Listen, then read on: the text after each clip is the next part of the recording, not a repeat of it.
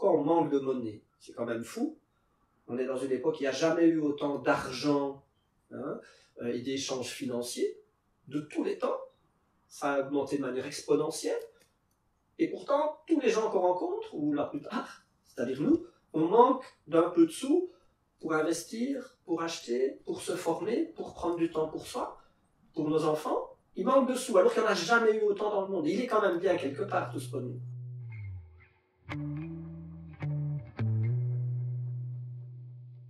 Alors déjà, euh, est-ce que tu peux te présenter euh, tout simplement ton, parcours et euh, qui tu es? Ok, donc moi je suis Didier Palange. actuellement, je travaille chez Financité, qui est une ASBL, qui est un réseau de citoyens, d'associations et de groupes locaux. Donc on a les trois composantes dans cette ASBL-là.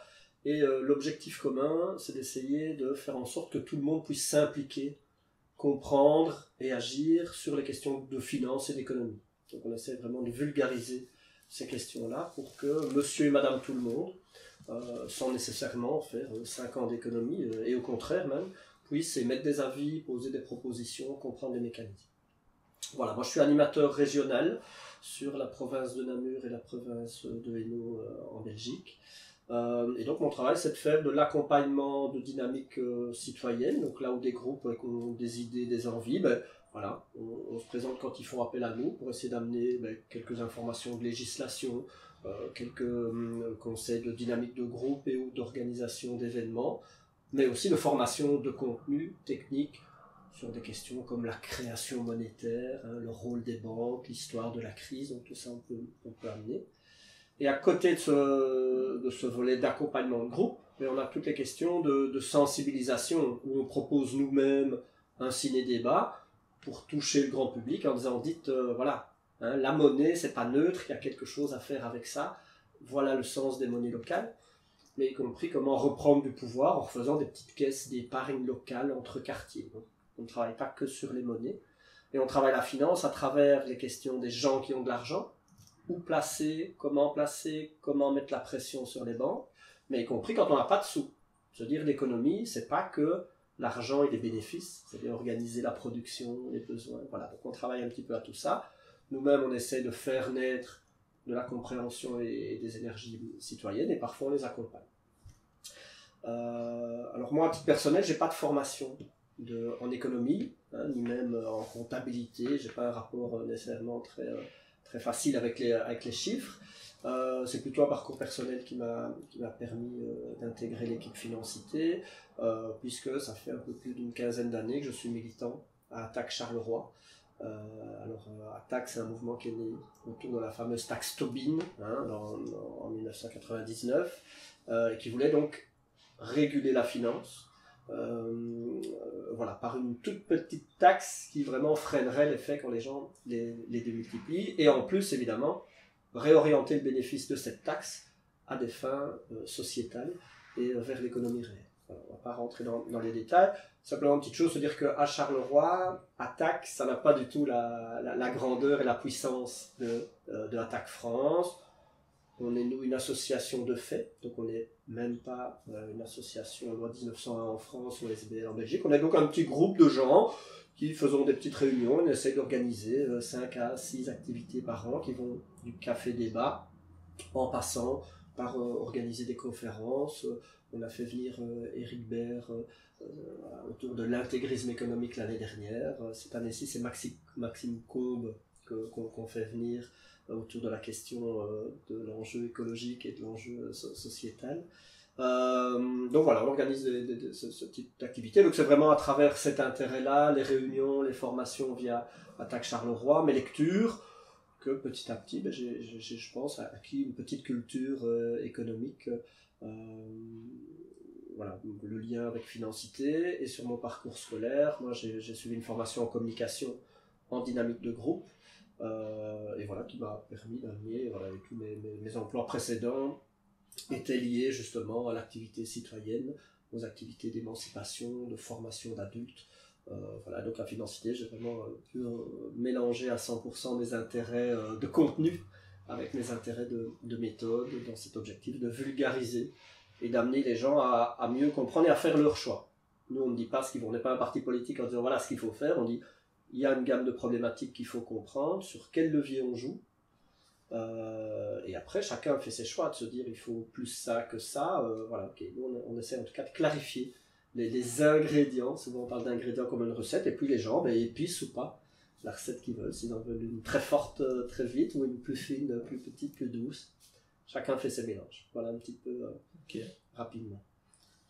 J'avais très envie de t'entendre sur cette notion de d'éducation permanente qu'on mmh. retrouve en Belgique, parce que Financité donc, fait partie, euh, ce que j'ai compris, euh, de l'éducation permanente. C'est une notion qu'on n'a pas, euh, nous, chez nous, en Suisse. Mhm. Et donc, est-ce que tu pourrais expliquer un petit peu ce que c'est Alors, c'est un, donc, c'est un décret qui avant s'appelait un décret d'éducation populaire, comme, comme en France. Et donc, on est bien dans, cette approche de permettre aux gens d'acquérir des savoirs, y compris en se basant sur leurs expériences propres. Donc c'est pas du tout un savoir descendant. Donc c'est vrai qu'il y a éducation dedans, mais éducation ou, éducation au sens premier du terme, c'est-à-dire euh, euh, en latin, si je me trompe, c'est-à-dire mettre dehors. Donc c'est permettre aux gens d'être autonomes. Hein. Et donc c'est amener les informations, encore une fois les mécanismes, qui leur permet d'être autonomes dehors et de faire, encore une fois, euh, leur, leur recette, leur rapport au monde, de faire des, expériences. Et donc l'éducation populaire, qui pour moi est plus clair qu'éducation permanente. On a renommé le décret euh, début des années 2000, si, si, je me trompe. Mais, et donc permanente est embêtant parce que sa éducation est permanente. Il y a notamment une grosse partie du monde professionnel qui se dit ben super, c'est comment je vais former tous les jours mon personnel, voire mieux, comment il va se former tout seul pour être encore plus rentable, adapté, etc. L'éducation populaire, c'est pas ça du tout c'est notamment comment on amène, par exemple, les gens historiquement à pouvoir lire. Une fois qu'ils savent lire sur leur temps de loisir et personnel, ils peuvent développer leur culture, c'est le développer sans l'écriture, mais l'écriture la lecture, mais ils peuvent encore mieux avoir accès à des compréhensions du monde et en faire quelque chose. Donc l'éducation populaire, c'est vraiment ça, c'est comment on amène les gens en reconnaissant leur savoir déjà, euh, à faire des liens, à aller plus loin, à comprendre, et donc à se redonner le pouvoir de contredire. Et ça, c'est écrit dans le décret. Hein, et donc ça, c'est vraiment extrêmement positif. Ça, veut dire que l'État subsidie, paye, pour que des gens critiquent. Donc ça, c'est vraiment un fondement historique du secteur qui est vraiment très très intéressant. Euh, c'est pas pour rien qu'il est encore euh, né dans des années où il y avait un certain nombre de, moyens. Donc c'est vraiment dire comment les gens se mettent ensemble pour gagner de l'autonomie individuelle et collective. Le décret parle des deux. C'est pas juste faisons des trucs ensemble. Hein. C'est un, comment individuellement je peux me renforcer, mieux comprendre, au service de l'action collective que je peux faire avec mes voisins. Donc l'éducation permanente, c'est ça, c'est revisiter le monde et oser le critiquer et proposer un certain nombre d'alternatives. C'est pas du tout une question de sujet, c'est pas plus l'environnement que la finance, c'est vraiment une question de méthode.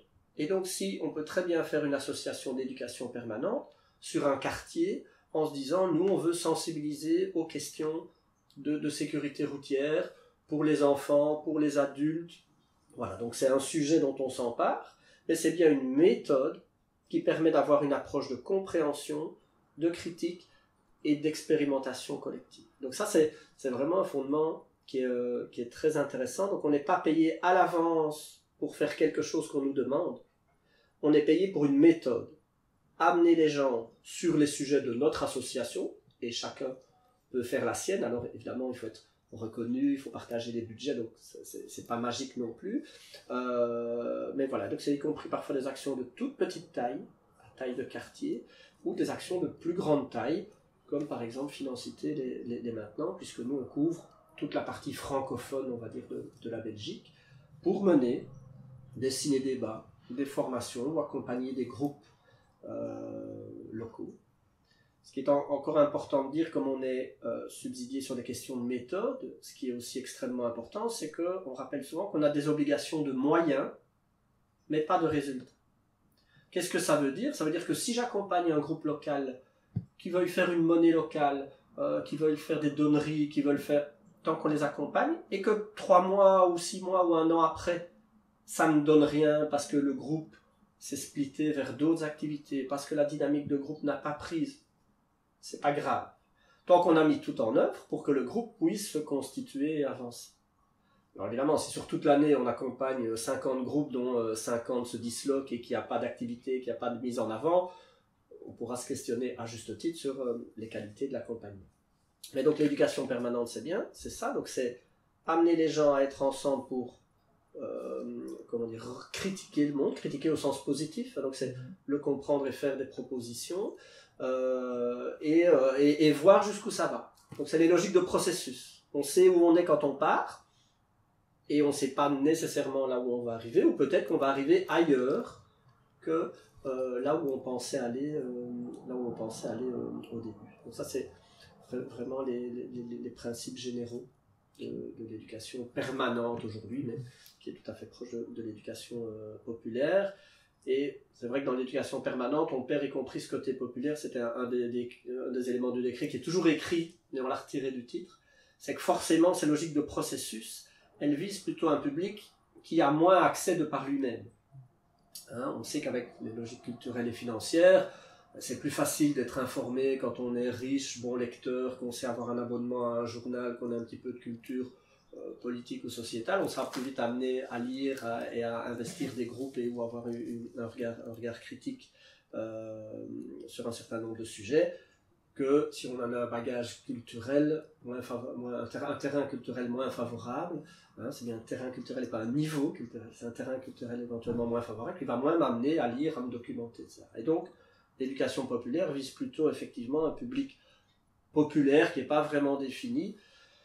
Et donc, il y a cette logique de l'éducation euh, permanente, c'est on doit trouver des publics qui ne sont pas encore chauds sur certains sujets. Une fois que tout le monde est d'accord pour dire qu'il faut faire cette solution-là, c'est plus tellement le terrain de l'éducation permanente. Tel que moi je le lis, on doit se rabattre plutôt vers des sujets émergents ou les aider à faire euh, survenir. Une fois que tout le monde est d'accord de se dire qu'il faut telle et telle solution, là on est dans les équilibres politiques de vote de discours. Quand ça intéresse tout le monde, ben, tout le monde va faire en sorte qu'ils aient accès à l'info. On essaie de travailler un petit peu avant, de se dire voilà comment aujourd'hui, pour demain, on peut amener les bases pour qu'il y ait des petits groupes qui proposent des alternatives. Certaines seront suivies, d'autres pas. Mais voilà, c'est comme tout, hein. est-ce que ça prend, est-ce que ça prend pas, on verra comment ça se passe. Mais donc, le côté y compris populaire, c'est amener des gens qui n'y seraient pas allés d'eux-mêmes. Je vais prendre peut-être un, exemple pour terminer là-dessus. Pour moi, ce qui n'est pas de l'ordre de l'éducation permanente, c'est évidemment quand un collectif d'usagers de train se met ensemble pour protéger ses, ses, avoirs, ses acquis ou, ou, son rôle purement d'utilisateur de, de train. Voilà, là on n'est pas dans une approche globale critique, c'est des gens qui se mettent éventuellement ensemble, qui sont dedans et qui se défendent d'eux euh, dans leur intérêt. Euh, voilà, là pour moi par exemple, on n'est pas là-dedans. Par contre, qu'un collectif citoyen imagine les questions de mobilité et, et relie ça, là on se rapproche de, de, de, ces démarches-là. Donc c'est l'idée d'aller chercher effectivement un public qui peut-être n'aurait pas investi une réflexion, cette cause-là ou ce sujet-là, euh, s'il n'y avait pas eu ces, ces, avantages euh, ou ces moyens supplémentaires. Ça veut aussi dire qu'il y a beaucoup d'éducation permanente qui se passe sans que ce soit subsidié.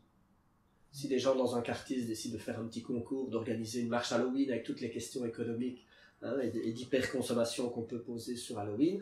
Il y a aussi cette logique-là de se dire comment on s'organise, qui fait la règle, comment est-ce qu'on voit la sécurité des enfants, comment est-ce qu'on communique. Voilà, là il y a de la vie associative un petit peu spontanée, qui est peut-être pas très critique sur la vie de la, société, mais pourquoi pas? Peut-être qu'ils peuvent se dire qu'est-ce qu'on va faire au niveau de l'emballage. Voilà, donc il y a aussi beaucoup d'éducation populaire permanente qui se fait euh, spontanément. Et le décret garantit d'augmenter la quantité de ce qui se fait grâce à des moyens financiers. Mais à la base, les réunions syndicales, les caisses syndicales, les caisses mutuelles, ça tenait de cet esprit-là et il n'y avait pas besoin de subside. Donc le fait qu'il y ait un subside pour le faire, c'est extrêmement important évidemment, il faut le préserver euh, parce que c'est des secteurs plus, plus, plus difficiles. Quand tu dis le préserver, justement, ça m'amène à la prochaine question, c'est est-ce qu'aujourd'hui c'est quelque chose qui est inattaquable parce que vraiment dans la culture euh, belge euh, mhm. ou alors est-ce qu'il y a voilà est-ce qu'aujourd'hui euh, vous ressentez qu'il y a une une diminution dans la volonté de Mhm. subsidier ces- ce secteur-là Comment- Alors, euh, euh, je, ferai le, par- le parallèle un petit peu avec la démocratie, c'est-à-dire que tous les hommes et les femmes euh, politiques en Belgique quasiment disent l'éducation permanente, c'est essentiel parce que ça amène les gens à se mettre ensemble, à comprendre et à critiquer. Budgétairement, le budget est stable. euh, et donc, euh, malheureusement, certains vont dire c'est déjà bien qu'il soit stable alors que d'autres diminuent. Néanmoins, comme plein d'autres budgets, il est inférieur aux- aux besoins ou à ce qui serait utile. Donc, euh, j'ai l'impression que l'éducation permanente elle-même n'est pas directement attaquée euh, globalement par le, par monde politique, est fort soutenue par l'ensemble des associations, euh, et y compris des grands piliers, hein, qui sont les mutuelles, les syndicats, etc. Donc, il y a. Voilà, maintenant, est-ce que la population d'elle-même est toujours consciente que c'est de l'éducation permanente? Non. Et tant mieux. Nous, quand on intervient, on ne dit pas bonjour dans un vous êtes bienvenu pauvre euh, hein, public populaire dans un mécanisme. Non. On fait ainsi des débats, on engage le débat. Donc parfois c'est pas bien identifié par tout le monde. Si tout d'un coup il devait y avoir une manifestation pour protéger l'éducation permanente, je pense que comme d'habitude, à part les travailleurs du secteur, il- voilà, l'ensemble du public qui en bénéficie serait peut-être pas énormément mobilisé.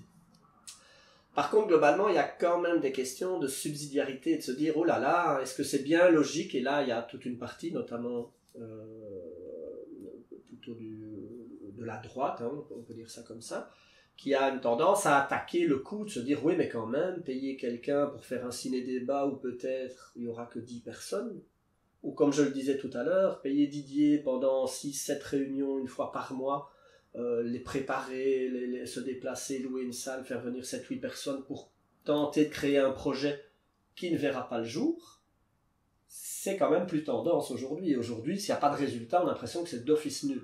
Nous, le résultat, il est dans le travail, dans l'accompagnement. Si ça ne se finit pas par un groupe local, si ça ne se finit pas par une monnaie locale ou par une activité publique, il y a quand même eu tout ce travail de rencontre, de lecture, d'échange, euh, de gouvernance au sein du groupe. Mais il y a toute une lecture, euh, je ne vais pas dire moderne, mais plutôt actuelle, c'est de se dire, il est où le résultat? Il est où ta conférence? Et tu as eu combien de gens? Travailler sur le processus, c'est plus très à la mode par rapport aux logiques de résultats. Donc là, à mon avis, il y a quand même une ambiance de, danger. Et surtout, si on revient à l'incom- à l'incompréhension autour de la notion d'éducation permanente éducation populaire.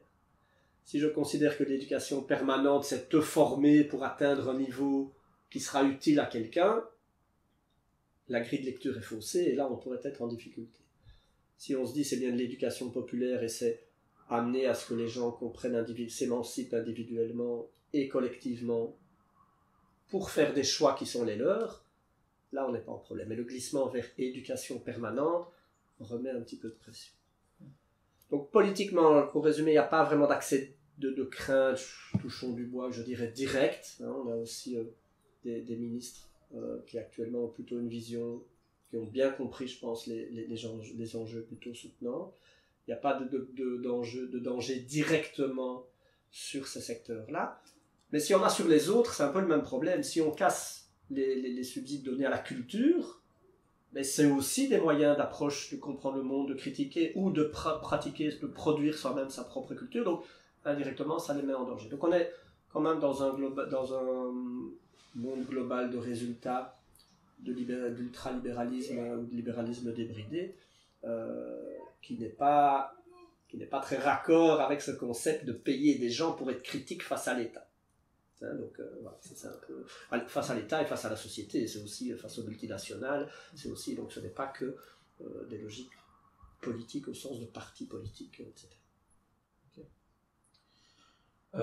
Aujourd'hui, donc toi tu t'occupes du secteur plutôt économique, finance. Mhm. Euh, c'est quoi vos grandes batailles, euh, aujourd'hui, les grands thèmes en tout cas que, que- sur lesquels vous êtes, euh, vous êtes occupé? Mhm. Et hum, est-ce que tu peux dire, selon toi, lesquels sont les, on va dire, les mieux reçus par euh, la population, lesquels demandent, un- ou les, à l'inverse, Mhm. lesquels demandent un plus grand travail? Parce que tu sens que ce- ces thèmes-là, ils sont, voilà, ils ne trouvent pas. Euh, Alors les, les grands thèmes hein, pour, euh, pour on peut essayer de résumer ça effectivement en, trois niveaux, ce que nous on appelle euh, les, les, les, thématiques. On a pour nous le premier niveau ce qu'on appelle donc finance et l'individu. Comment refaire matcher finance et individu? Qu'est-ce que ça veut dire pour nous finance et individu? Ça veut dire c'est que euh, les messieurs et les madames, moi, tout le monde, en tant que consommateur, je dois avoir des produits financiers. Un produit financier, c'est juste une bonne banque, c'est peut-être une assurance, y compris une assurance maison, parce que c'est passé dans le giron de la finance, de la monétarisation euh, euh, et, du grand jeu de la finance, en bourse, etc. Et donc c'est que les messieurs et les madames, ils aient des clients adaptés à leurs besoins et compréhensibles par eux. Pour nous, il n'est pas du tout euh, normal. Donc ça va y compris dans choisir un compte épargne, hein, choisir un, un, placement qui soit vraiment éthique, ou que si vraiment je veux investir dans le nucléaire parce que j'y crois à fond, ou que vraiment je veux inscrire, investir dans l'armement parce que j'ai envie de me faire des sous, ben que je puisse le faire. il faut qu'il y ait des outils de qualité euh, pour y compris démontrer qu'il y a moyen justement d'investir dans autre chose que dans euh, l'armement, dans le fossile, etc. Euh, donc là, c'est en termes d'investissement, mais c'est y compris si j'ai pas beaucoup de sous, que je veux juste une bête petite banque, petite et plutôt qui fait de l'investissement local dans des petits PME, voilà, d'avoir ce type de service.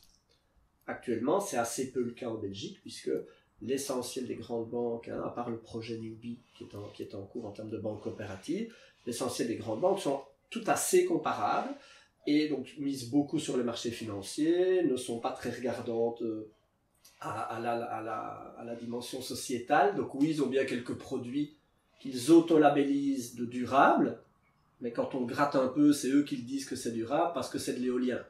Mais si c'est de l'éolien qui est cher, qui est importé et fabriqué par des gens dans de mauvaises conditions sociales, ça n'a rien de durable. Mais c'est une éolienne, donc on peut croire, hein, je résume un petit peu. Mais donc comme ce sont les banques elles-mêmes qui disent ce qu'elles font. Et donc pour nous, il est important que les clients, les messieurs et les madames, puissent avoir des produits de qualité, y compris éthiques, pour montrer qu'il y a un marché et que le marché fonctionne.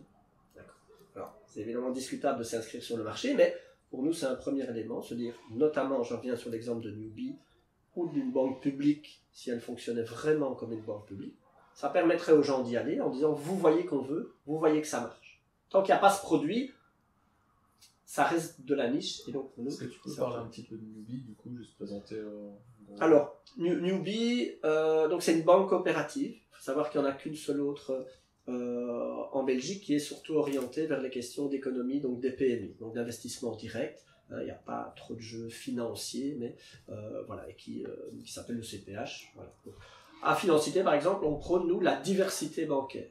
Donc, dans ce que je disais tout à l'heure, les produits, il faut qu'il y ait une diversité de produits pour, y compris que politiquement, les gens fassent leur choix. D'accord? Une diversité et une transparence. Nous, si une banque dit, voilà, moi je fais uniquement de l'investissement sur les minerais rares euh, tirés dans de mauvaises conditions et que des gens veulent ouvrir un compte là-bas pour faire beaucoup de sous, on aura tendance à dire, ben, si c'est transparent, on a déjà retiré un premier élément de, de faire Croix-Rouge. Et donc, Newbie, c'est une, une, coopérative hein, euh, qui s'est déjà lancée il y a 5-6 ans, j'ai plus les, dates exactes, euh, suite évidemment à la, à, la, crise bancaire de, de 2008. Et donc, c'est les gens qui se sont dit, ben voilà, puisqu'on n'a pas une banque qui marche comme on voudrait, on va le faire nous-mêmes. Et ça, c'est vraiment toute l'histoire des coopératives, qu'elles soient de fruits et légumes, qu'elles soient des coopératives paysannes pour euh, partager des tracteurs, des achats, parce que les banques ne voulaient plus leur prêter. On s'organise tout seul, de manière démocratique et claire. On écrit entre nous des principes, et puis on va, on va chercher nous-mêmes ce que le, marché privé ne nous offrent plus.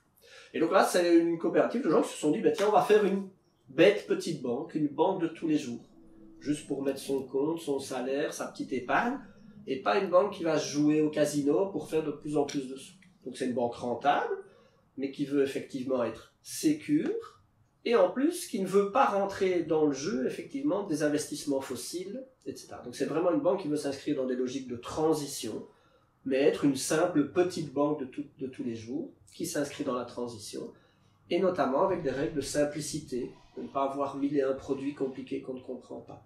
Avoir des règles de transparence, des règles de participation, comme dans les coopératives, ce qui veut dire que moi j'ai pris, ben, avec 20 euros, on peut prendre une part de cette coopérative, et j'ai un droit de vote équivalent à l'Assemblée générale que quelqu'un qui aurait pris 50 parts. Donc c'est pas un rapport de force entre les plus riches et les moins riches, Dès qu'on est membre, on a un droit de vote pour orienter les, décisions.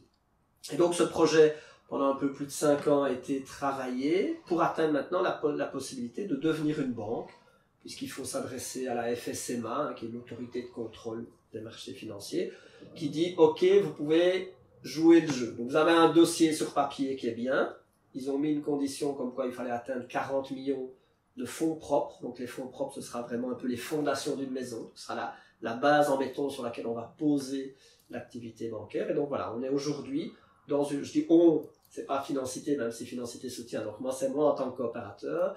On est aujourd'hui avec Nubi à la recherche d'une trentaine de, millions. Il y a un capital précédent, d'accord, euh, pour avoir la stabilité nécessaire à monter une banque, notamment en cas de difficulté, si la banque ne fonctionne pas trop bien, ou s'il y a encore, quand il y aura encore un, problème euh, financier. Et donc on a une trentaine de jours jusqu'à euh, fin novembre pour trouver ce montant. Si on a ce montant, on devra encore seulement recevoir l'autorisation de la Banque Centrale Européenne qui dira oui, vous pouvez lancer une banque. D'accord? Et donc ils ont dû rendre vraiment plein de dossiers, montrer qu'ils savaient gérer techniquement, que les, avoirs des clients seraient protégés. Enfin voilà, évidemment, c'est tout à fait, tout à fait complexe à monter. Et donc on est dans la phase où il faut atteindre ce montant-là. Parce que si on n'atteint pas ce montant-là, évidemment, on n'aura même pas accès à l'autorisation de, de, la Banque centrale. C'est un petit peu logique si ils estiment qu'on n'a pas le fonds de commerce suffisant ou l'activité suffisante. Voilà, donc euh, on est dans, cette recherche de, capital euh, et donc avec ces enjeux d'avoir une, une banque très simple. Je vais prendre un, exemple pour moi qui est tout à fait révélateur de petites choses mais qui sont essentielles. Newbie, actuellement, c'est pas encore une banque, mais il y a des cartes prépayées. Donc si je mets, c'est comme un porte-monnaie, je mets des sous dessus, je peux pas descendre en négatif, mais j'ai une carte que je peux utiliser dans le commerce. Cette carte, de chaque fois que je l'utilise, il y a 5 centimes. Donc si je prends un simple sandwich à 2 euros, il y a 5 centimes de, la part de la banque qui va à une association que Newbie a accréditée. Donc c'est pas que je paye mon sandwich 2 euros et 5 centimes, je le paye au prix normal, 2 euros, mais la part plutôt de la banque, plutôt que faire des bénéfices sur les opérations, etc., elle redistribue directement 5 centimes à une association que j'ai pu moi-même choisir dans le risque. Voilà, ça c'est une idée de... Donc c'est pas une banque qui veut faire des bénéfices grossir grossir, elle veut que son utilité me permette de faire des achats, et qu'en plus mes achats aient un effet bénéfique sociétalement en soutenant une association. Un autre exemple, eh bien, ce sont les premiers à avoir fait des cartes de banque biodégradables.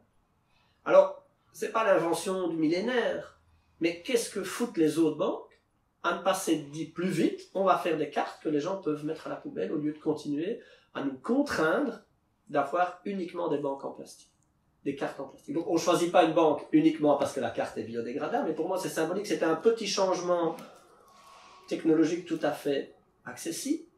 Même en termes de marketing, ils pouvaient le faire depuis longtemps et personne ne l'a fait. Heureusement qu'il y a une banque comme ça qui se dit tant qu'à faire, on va essayer d'être cohérent, on va ramener ça sur le marché.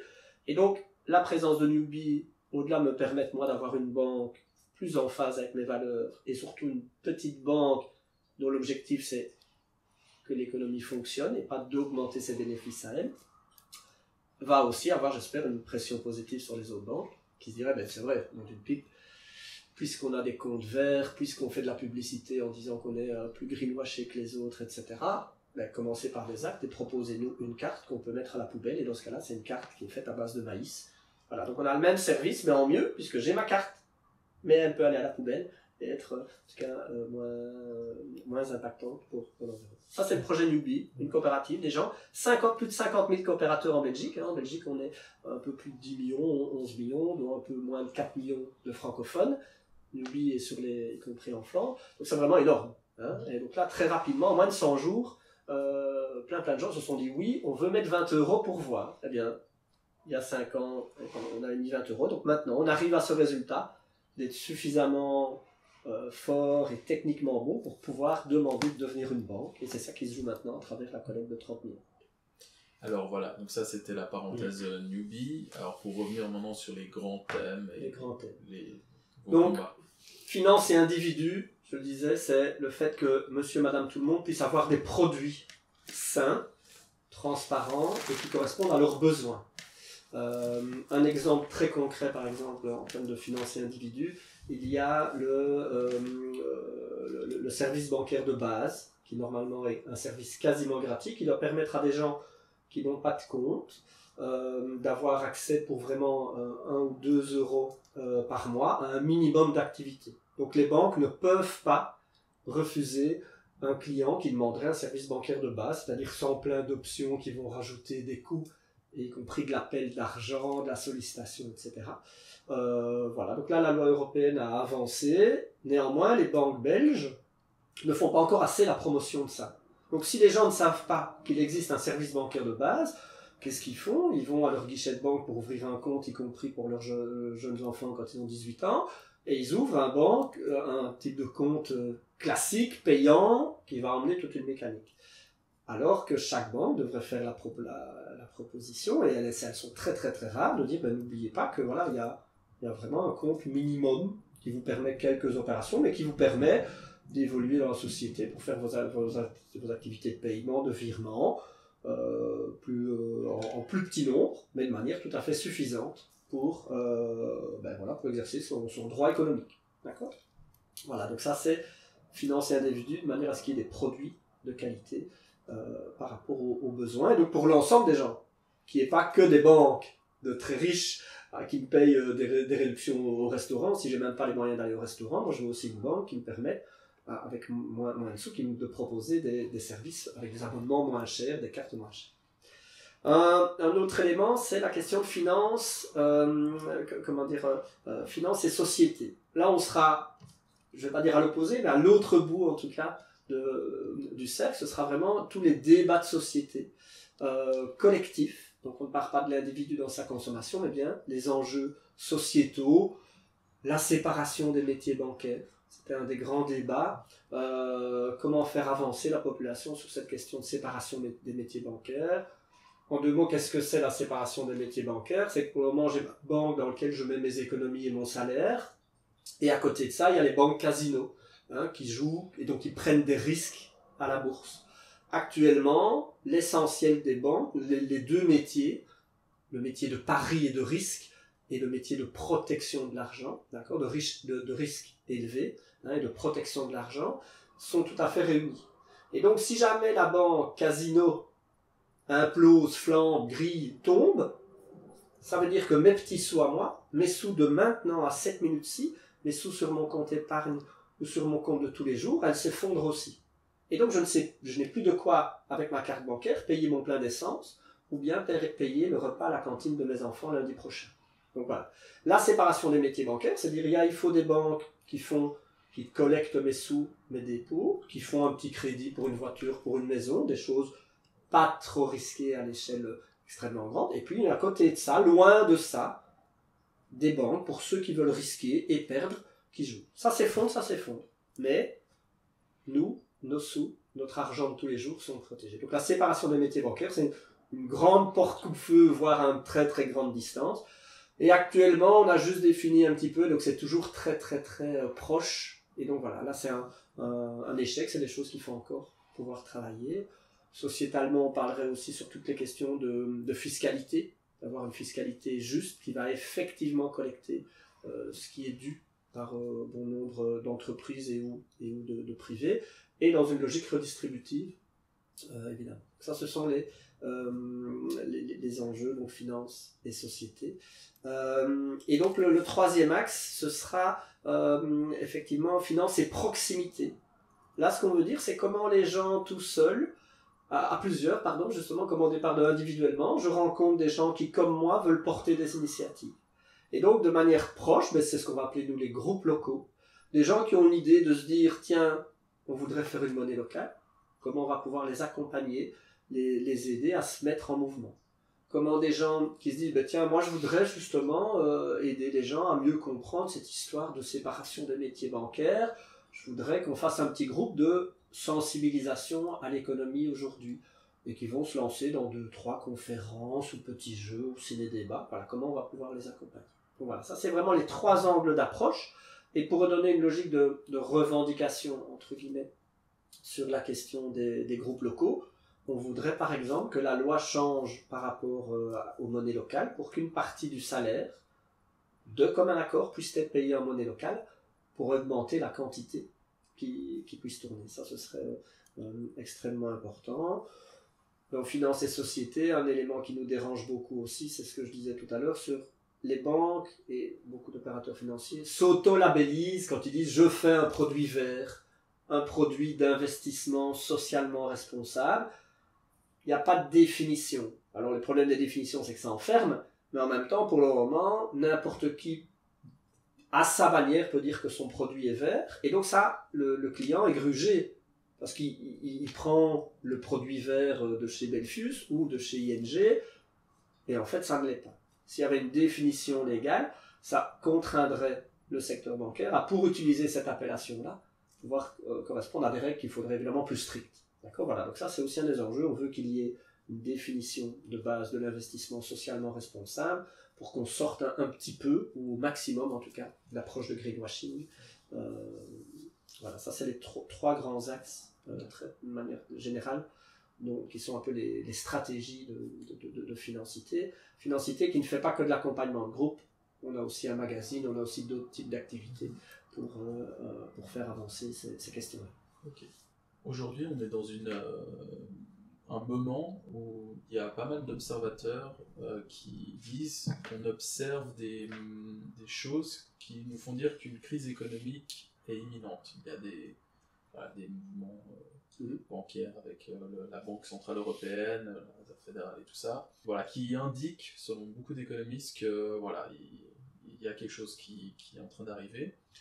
Euh, je voulais déjà connaître ton avis à toi. Alors, tu nous as dit que tu n'as pas fait d'études particulières, donc tu n'as pas euh, d'expertise mhm. économique. Mais ton avis à toi, qui du coup baigne dans ce milieu-là et qui rencontre énormément de personnes. Et la deuxième question, c'est financité. Est-ce que vous faites quelque chose pour parler de ça, de cette éventuelle nouvelle crise économique qui arrive bientôt euh, Voilà. Alors, donc, euh, dans, dans l'ordre, moi, donc de là où je suis, effectivement, dans mes lectures, donc c'est pas dans mes analyses que je fais moi-même, mais dans mes lectures, c'est des, des, éléments d'analyse qui sont effectivement répétés depuis plus de 3 ans, 4 ans. De dire, on n'a pas assez euh, resserré les boulons suite à la crise de 2008. Euh, et donc on a, on a juste ralenti un petit peu à ce moment-là et on est redevenu dans la même chose.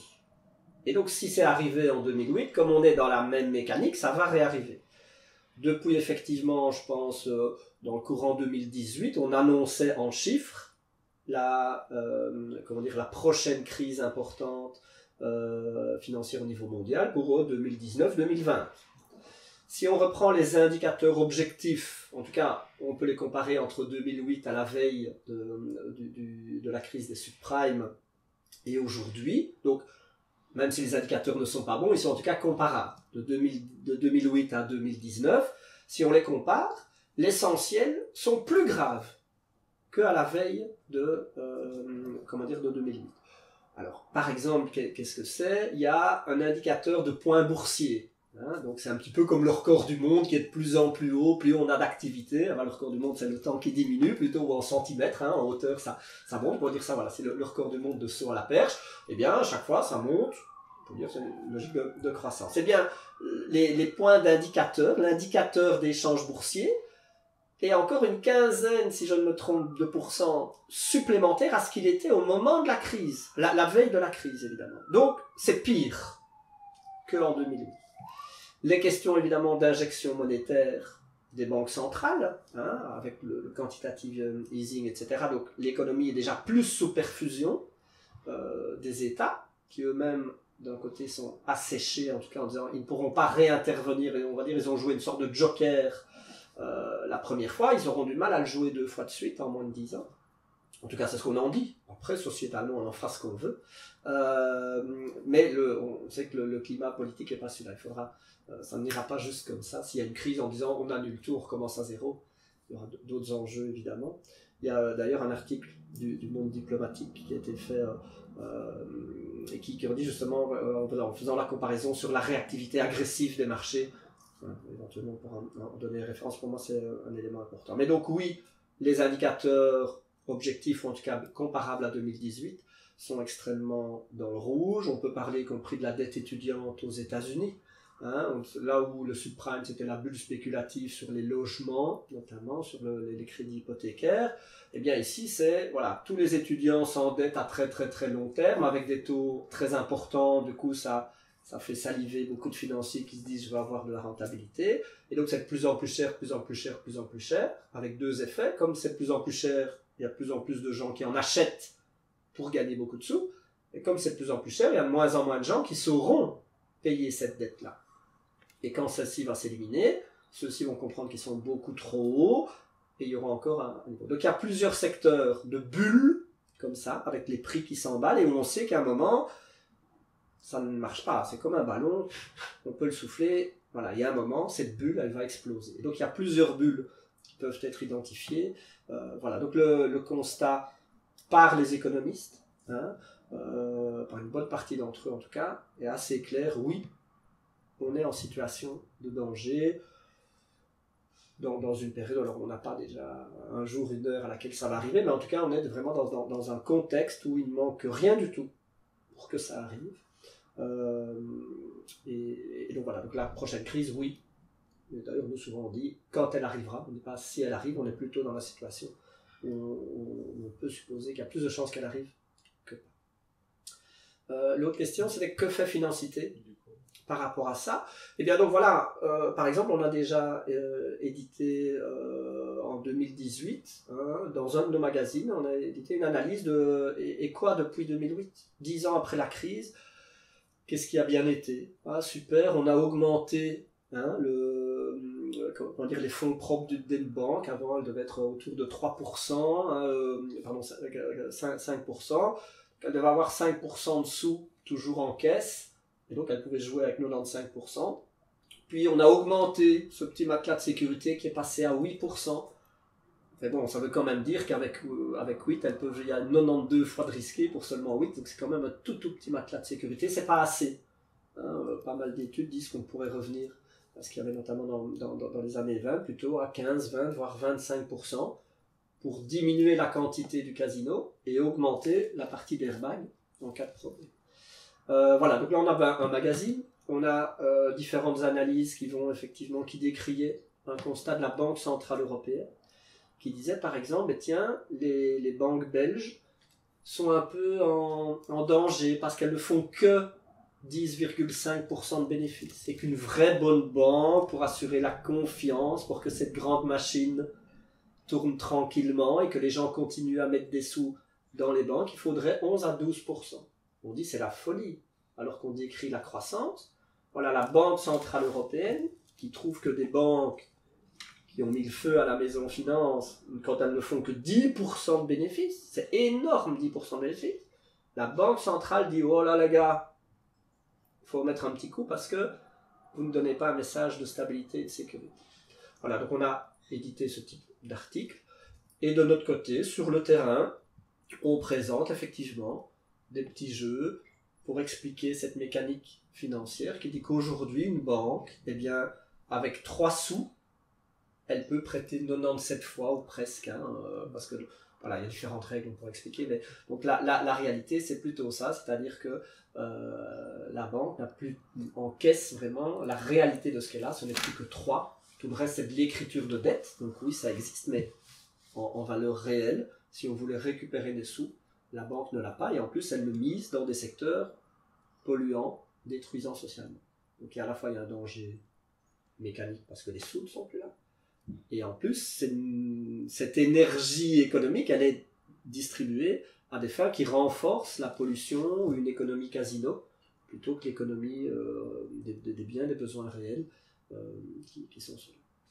Et notre activité d'éducation permanente, quand on fait un ciné-débat autour par exemple du film La monnaie miraculeuse hein, qui a été euh, diffusé, ben voilà, c'est ça. Parce que pour expliquer euh, la mécanique, on se dit pourquoi, pourquoi on manque de monnaie? C'est quand même fou. On est dans une époque où il n'y a jamais eu autant d'argent hein, euh, et d'échanges financiers de tous les temps.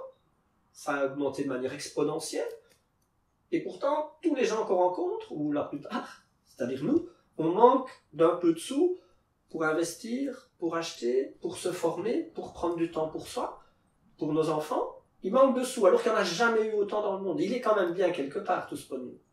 On sait qu'il est à la bourse et sur les marchés financiers. Voilà, donc on décrit ça en disant, les sous sont là, mais ils sont aspirés par un modèle qui joue au casino, pendant que nous, on cherche simplement de quoi avoir un métier et s'offrir, s'offrir, s'échanger, se vendre des, biens et services. Donc, c'est aussi une des activités financées euh, par, ce, par ce biais d'activité. Et euh, est-ce que vous avez euh, préparé les, les, solutions pour euh, l'après-crise, pour peut-être pas commettre les mêmes erreurs qu'on a parce que là, tu as énormément parlé du coup de, de l'analyse, du constat, du constat de, de, voilà, de tout ce qui ne fonctionne pas.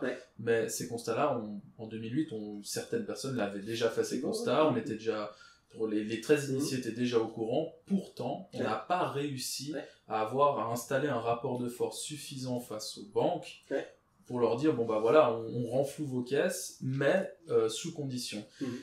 Est-ce qu'aujourd'hui, Financité prépare ce terreau-là? C'est-à-dire que si demain, il y a cette crise, qu'on soit déjà prêt à savoir à qui parler, quoi dire, euh, enfin voilà, l'après, le, jour 1, jour 2, jour 3 après. Euh, Alors, euh, peut-être que ça se fait en secret. J'espère que ça se fait que je suis pas au courant, on verra. mais non, très, très sérieusement, ça ne se fait pas comme ça directement. parce que pour que ça se passe, il faudra y compris une question d'analyse, comprendre que les solutions de rachat de banque ne sont pas suffisantes.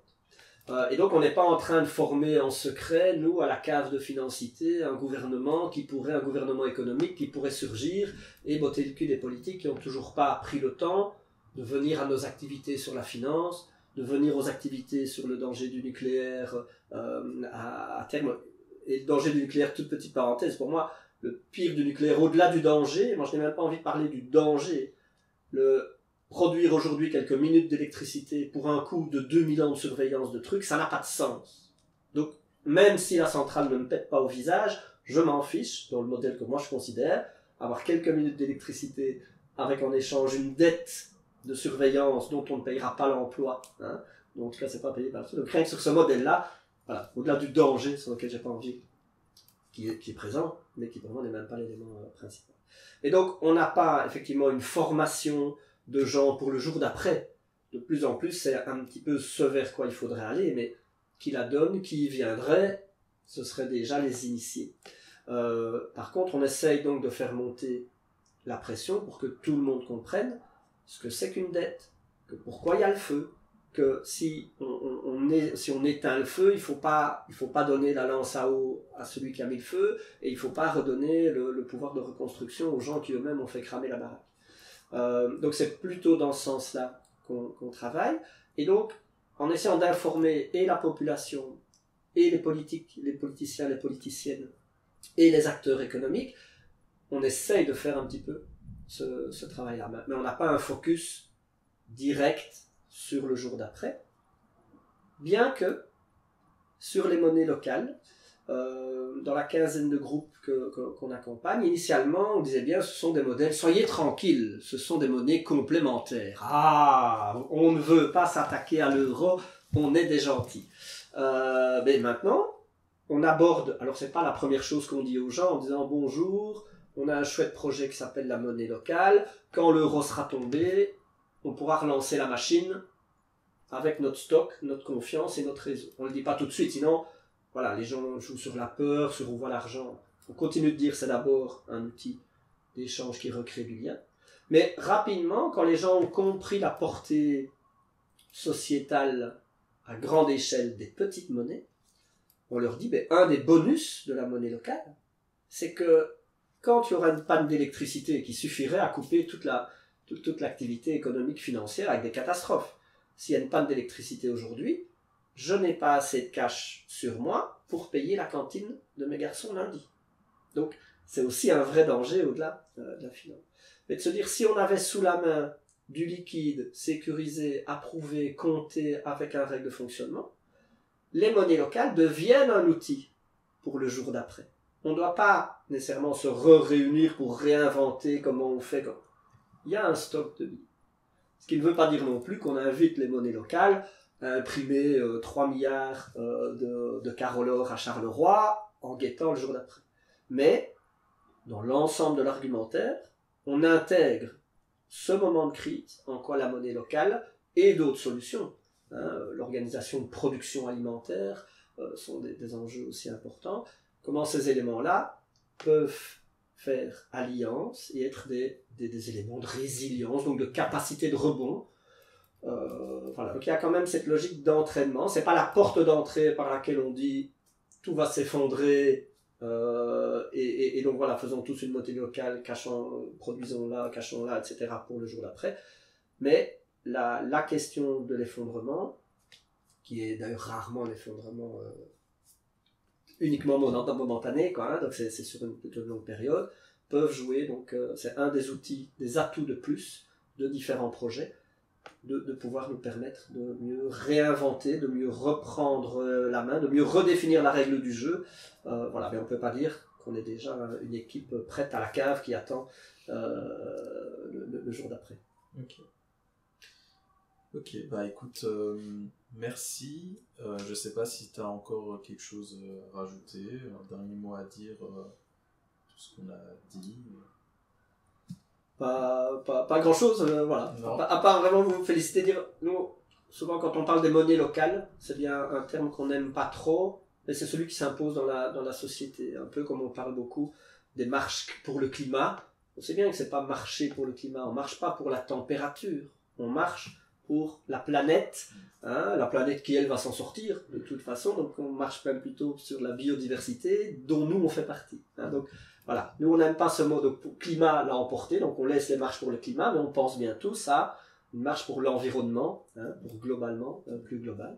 Et donc, nous, les monnaies locales, euh, on n'aime pas trop ce terme-là, c'est toujours dire c'est qu'elles doivent être citoyennes, pour que les gens aient en prise la compréhension des mécaniques et la capacité de réinventer, ici maintenant, et le jour d'après, et voilà, je pense que vous êtes un, bon exemple de l'utilité par l'intérêt des monnaies locales qui se touchent évidemment les unes les autres et du coup on fait des échanges, on fait des rencontres. C'est pas se dire chacun fait la sienne et c'est pas le bunker à l'américaine où on achète surtout des fusils hein, pour se dire dès qu'il qui sort je le flingue, c'est de se dire non, on reprend des zones de contrôle parce qu'on se connaît, parce qu'on se croise et quand on se touche, ben on est voisins et on est bons voisins. Mais plutôt qu'avoir des échanges dont on ne maîtrise plus et qu'on ne comprend pas, c'est refaire des plus petites cellules qui se touchent et qui sont comme des maillons d'une chaîne. Donc ça reste un projet global, mais où il y a une maîtrise euh, plutôt. Mais voilà, je trouve que vous, êtes un bon exemple dans votre trajet, dans votre itinéraire, dans l'énergie que vous y mettez, de mettre en contact euh, des initiatives comme les vôtres, comme les nôtres, et, que ça augmente, y compris chez nous en interne, les connexions de nos propres, euh, euh, comment dire, de nos propres initiatives et des propres activités. Donc voilà, je voulais aussi vous remercier tous les deux pour, euh, pour votre itinéraire, pour l'énergie que vous, que vous amenez à ces énergies locales, mais vous le faites à, à, très grande échelle. Donc voilà, bravo à vous et merci. Bah, merci à toi.